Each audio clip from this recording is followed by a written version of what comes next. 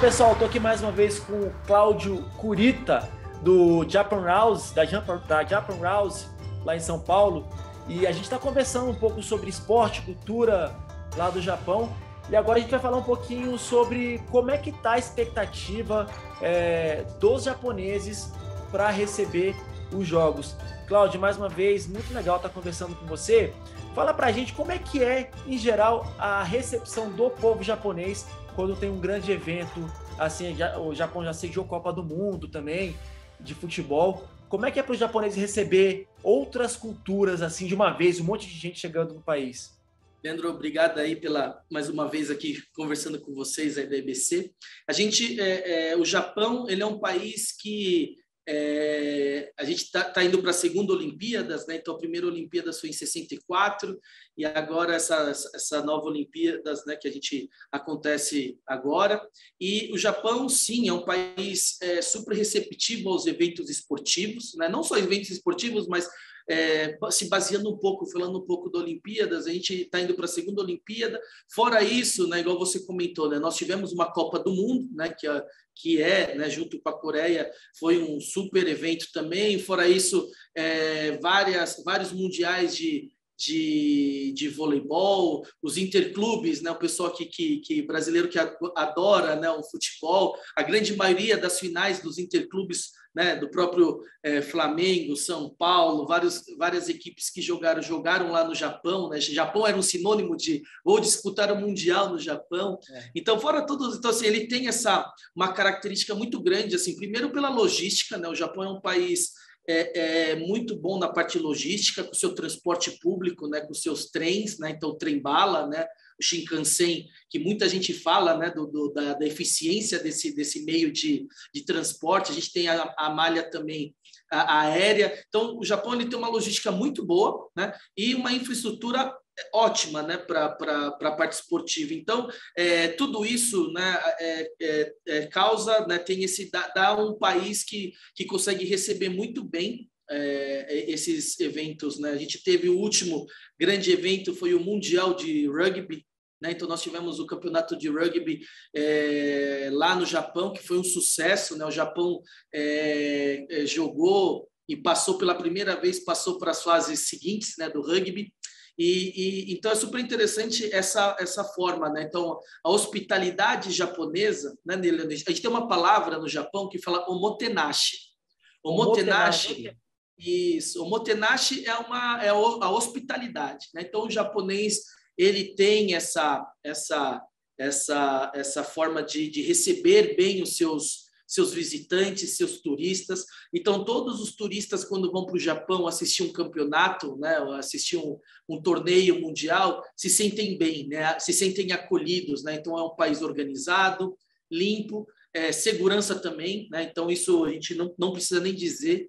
É, mesmo em Tóquio, onde vai ser Olimpíadas agora, é super seguro. Você pode andar na rua tranquilo, é, é, altas horas da noite você não, não tem tanta preocupação. Então, assim, é bem. Então, todas essas condições criam um país é, é ótimo para receber essas, essas, esses campeonatos, né, esses torneios, né, e vira uma vira uma, uma, uma tradição, né? Então, Japão, cada vez que passa, sempre é, os campeonatos é, que sejam de modalidades como atletismo, natação, sempre o Japão está se postulando para ser sede né, dessas, por todas essas condições, né? E, e, e, o, e o país incentiva também isso, né? Que, que tenham os eventos e que, e que e até mesmo para para essa parte do turismo, né? Trabalhar bastante essa parte do turismo, né? Na, no, no, no, país. E é engraçado porque o Japão ele acaba que é, é, ele remete muitas coisas boas para o esporte brasileiro, né? Muitas vitórias, igual você falou, mundial de clubes, é, a própria Copa do Mundo que, que foi jogada no Japão também, Brasil foi campeão. É, então, dessa forma, assim, eu acho que tudo isso acaba também gerando um pouco mais de, de alguma forma, simpatia do povo brasileiro. Assim, é mais um motivo para o povo brasileiro ver com um olhar mais simpático, né? O, ali a cultura, as competições disputadas no Japão. Não, com certeza, com certeza. O Japão ele tem essa é bem marcante, né? É, até mesmo eu vou vamos vamos lembrar de algumas coisas também de esporte. por exemplo, Ayrton Senna, né? Ayrton Senna ganhou vários, né, os títulos, né, é, na época da, das corridas do Ayrton Senna, é, a gente o prêmio de Suzuka era sempre o, o último prêmio, né, era o, o, último circuito. Então a gente, quantas vezes a gente, né, é, é assistindo Senna é, sendo campeão mundial, ganhando as provas em Suzuka, é, o povo japonês é, soube também admirar e muitos muitos dos japoneses amam né, a história do, do Ayrton Senna. Então a gente tem o um mundial de, de, clubes, né? Então é, flamenguistas, são paulinos, gremistas, né? Assim é que tem muita gente que perde, né? Aí talvez não, não tenha tantas boas lembranças, mas para a grande maioria das vezes o Japão sempre foi muito marcante. Né? Os mundiais de vôlei também. Aconteceram é. várias finais de mundial de vôlei, tanto feminino quanto masculino, e, e, e foi lá no Japão. Então, é, é, muito legal quando o Japão tem essa memória afetiva para o brasileiro positiva, né? é, que traz essa felicidade e essas boas lembranças, né? Quem não lembra do, do de 2002, né? Do capitão Cafu levantando a taça, né? É, subindo no, no, no, no, num púlpito de num púlpito de acrílico, quebrando o protocolo totalmente, quebrando o protocolo total. E, é. e, o brasileiro, e o japonês gosta disso, dessa espontaneidade do brasileiro, né? Então essa paixão essa espontaneidade, né? É, o próprio Corinthians, quando foi para o Japão também, então aquela invasão de corintianos também no, no, Japão. Então, assim, o Japão, ele, ele, é claro, é bem diferente, né? Como a gente já tinha falado das últimas vezes, é bem diferente do, do, do, do, do brasileiro com o japonês, mas o japonês ele também gosta né, dessa espontaneidade né, e desse, desse calor humano que o brasileiro tem. Né? Acaba que é uma coisa diferente para o japonês ali ver, né? De repente não está tão acostumado a ver povo meio maluco ali invadindo o país, deve ser legal também, né? Ah, é bem, é bem, é bem diferente, assim. As pessoas ficam até assim, eles veem que são, que são estrangeiros, né?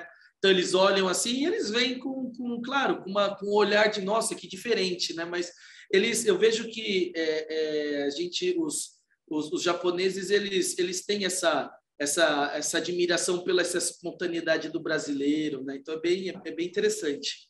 Ô, Claudio, em relação a, a, esse negócio de intercâmbio de cultura Brasil-Japão, assim, você acha que o povo japonês tem esse interesse de, de, digamos assim, entre aspas, se misturar com o brasileiro, mostrar um pouco da cultura na área de esporte, aprender um pouco com o brasileiro, ensinar também um pouco o brasileiro? Se bem que é, já ensina bastante o brasileiro na parte das artes marciais, né? Mas o que mais que a gente tem para falar sobre isso? Não, tem bastante, é, bastante coisa assim de, de, de intercâmbio nessa parte esportiva, né? E até é, aproveito a oportunidade aqui para estar tá convidando, né? É, toda a audiência né, da, da IBC para poder, é, aqui na Japan House São Paulo, é, nós vamos inaugurar aqui um espaço, né, um lounge esportivo, né, que vai falar sobre Olimpíadas de, de Tóquio. A gente vai falar, é, muitas as pessoas estão comentando bastante, a gente tem os esportes novos, né? Então a gente tem os esportes novos nessa Olimpíadas, a gente tem vários esportes, a gente não pôde é, citar todos, mas no nosso espaço aqui a gente vai falar muito sobre o skate, sobre o surf, né, sobre o beisebol, sobre o karatê, mas a princípio esses dois esportes, o skate e o surf, igual você está falando essa coisa do intercâmbio, né? Nós temos é, o Brasil hoje, né, com o Ítalo, né, com, com, com, o próprio Medina, com todos. Gente, o, o surf é dominado pelo brasileiro, né, pelo, pelos brasileiros, e é muito legal que o, o japonês se interessa né, e, e, fica olhando os brasileiros. Né? Então, a gente tem essa, toda essa coisa. Então, aqui na Japan House, a gente vai falar sobre isso, o skate também. Né? Então, o skate, que é a nossa é, modalidade que a gente tem uma grande esperança de várias medalhas, né? Nós estamos levando uma equipe, né, uma equipe muito boa e tenho certeza que também o skate é a mesma coisa. Então a gente tem até mesmo também muitos descendentes de japoneses que é, praticam skate também. Então é, todos esses novos esportes, entre outras atividades culturais, e a gente também vai ter várias atividades dentro aqui da Japan House. A gente vai vai estar com esse espaço aberto, a entrada é franca. Então, Leandro, todo mundo, né, te convida aí todos os, toda a audiência da EBC para poder visitar o nosso espaço. É uma atividade é, cultural e também falando sobre sobre esporte. Então, a gente convida todo mundo aí a audiência para que possam é, visitar o nosso espaço, possam aprender um pouquinho sobre, sobre, sobre as Olimpíadas. Né? A gente vai estar tá, é, a gente vai estar tá falando, falando um pouco também como foi 64, né, através dos pictogramas, né? Então a gente vai fazer a comparação dos pictogramas de 64 com os pictogramas agora da, de Tóquio de 2020. Então, assim, Explica é, para a gente é, é, é uma, uma, satisfação. Oi? Explica para o pessoal o que é pictograma. Tá, ah, tá, vamos lá. É até interessante isso. A gente tem os símbolos, né? E hoje ficou muito interessante que toda Olimpíadas a gente tem os símbolos, né, de futebol, aí aquele desenho, né, que representa o esporte, né, que é um símbolo, né, que é uma que é uma marca. E isso é, começou no Japão em 64. O Japão em 64 para dividir as modalidades olímpicas é, é, separou através dos, dos pictogramas, né, desses desenhos, né, que normalmente eles são é, monocromáticos, né, uma cor só, né, então eles, eles têm o símbolo, e aí depois todas as competições olímpicas tiveram seus símbolos, né, seus, seus bonequinhos né, representados, né, e a gente vai mostrar essa comparação desses dois nesses dois momentos né, da, da, da Olimpíadas de 64 e, e da Olimpíadas dessa de, de 2020, né? Então vai ser bem interessante, vai ser é um passeio muito legal para a família, então assim é, não precisa, né, Leandro, ser especialista em esporte, é, é a nossa, o nosso lounge esportivo é algo que as pessoas é, é para vir, para aprender, né, para curtir. Então, assim, a gente convida toda a família, todas as pessoas para estar tá, é, conhecendo o nosso espaço aqui, é, que fica na Avenida Paulista, né, a Japan House aqui na Avenida Paulista, bem no comecinho, no número 52. É, o, o Cláudio, se o pessoal quiser pegar mais informação sobre sobre isso, tem algum site, algum lugar que ele pode buscar essas informações? Tem, tem. Eu vou falar. Tem, tem, a gente tem é, quem, quem quiser mais informações né, da, da, das exposições né, e, do, e do lounge esportivo, podem estar procurando nas redes sociais, Japan House São Paulo, nós estamos no Facebook, no Instagram, no YouTube, a gente também tem um site. Então, por favor, procurem a gente no, no, no né, nas redes sociais, Japan House São Paulo, e o convite está feito para todo mundo poder é, curtir e, e, entrar nesse espírito olímpico que a gente sabe que essa confraternização do esporte, a gente viu várias cenas que são interessantes, então essa confraternização do esporte é uma das, das coisas mais bonitas que tem né, no, no, no mundo. É, ele é permanente ou vai durar durante, só durante as Olimpíadas?